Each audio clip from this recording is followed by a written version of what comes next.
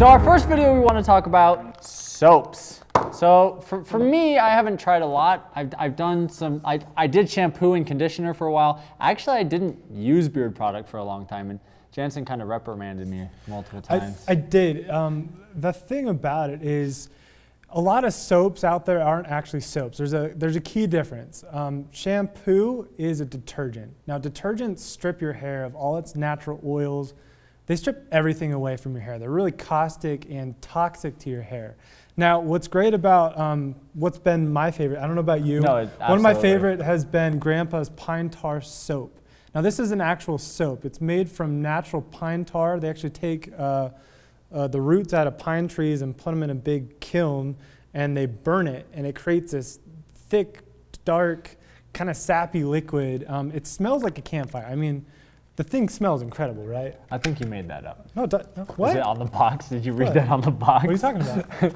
the kiln thing? So what they do is they take a big tree, they, they, do that. they compress they it, do. they compress it, they pull out okay. all of the uh, the There's going to be a link in the, the description to the video that I watched that actually shows you the process of making your own pine tar. But you don't have to do that.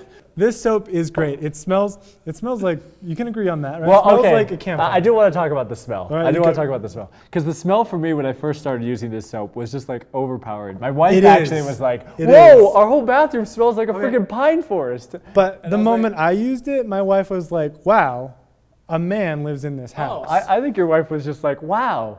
I want to start a campfire right now in the bathroom. anyway, but as you use it more, actually the smell dissipates. It's, it it's, it's when you first start it, the smell is like, it is really overpowering. But like this thing lathers like none other. Oh, like incredible, incredible lather. Just a little bit, throw it mm-hmm. on there, and it just and it lasts forever. It that's that's one of the main so things love going back this. to it with with the lather, this is all natural, and because it's a soap, it actually has natural oils in it which help your beard maintain the healthy oils that keep beards looking great. So that's why this is always going to be on my shelf and in my shower for, uh, for keeping a beard um, great. And what's great about this too is you can actually use this every day. Now, mm -hmm. it's a debate. When you grow a beard, should I wash my beard every day? I think that's a personal decision. I've tried, you know, only washing once a week. I've also tried doing it every day.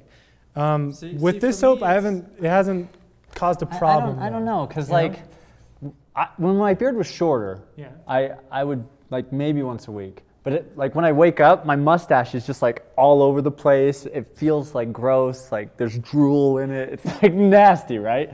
So I like to wash it every day. Oh, and I haven't noticed, as long as you're using some of the other products that we're going to talk about in other videos, yes. it, it, it, really doesn't make a difference, I in think, my opinion. I think that's a really good right? point you bring up, is as long as you're using like soaps that are good for your beard and then helping your beard like receive the oils and moisturizers it needs to keep it strong. Because this is also, we're talking about being brittle. Have you ever saw, seen some guy with like a beard that had so much potential, but it just looked so brittle? Oh, you mean mine looked, six months ago? Or yeah, when mine, I wasn't using mine product? two months ago.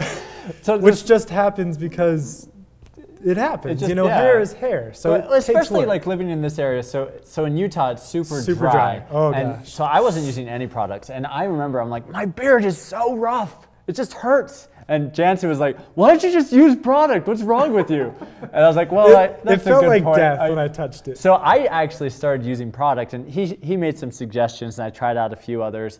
And uh, it took a while, and, and I would highly recommend using products right away with short beards. Now, now the other thing that I always consider is price, right? Like yes. that's, that's, that's one of the big things, and this is what I love about this soap. Six dollars, right? Price lineup. I mean, you can find six, it four, four to six dollars actually. Yeah. Like um, Natural Health Food Store has this online. It's going to be closer to seven, like Mike is saying. Oh yeah, I, at, on Amazon. We'll, yeah, we'll have yeah, links down below where you can buy exactly. them on Amazon and stuff like that. Um, so. But in terms of the quality of the product, it's great. Great, great, great. Let us know what you guys think about yeah. um, any of these soaps. If you found any better ones or ones that you really like, please let us know. We'd yeah. like to hear I'd about that. Absolutely. Hey, thanks for watching, guys. Be sure to subscribe. We got lots more reviews videos coming, um, so check it out. Cool. Save the beard. Save the beard. Save it.